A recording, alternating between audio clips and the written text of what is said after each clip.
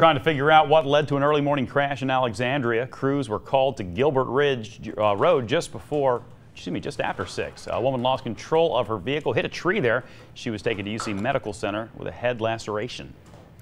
And coming up,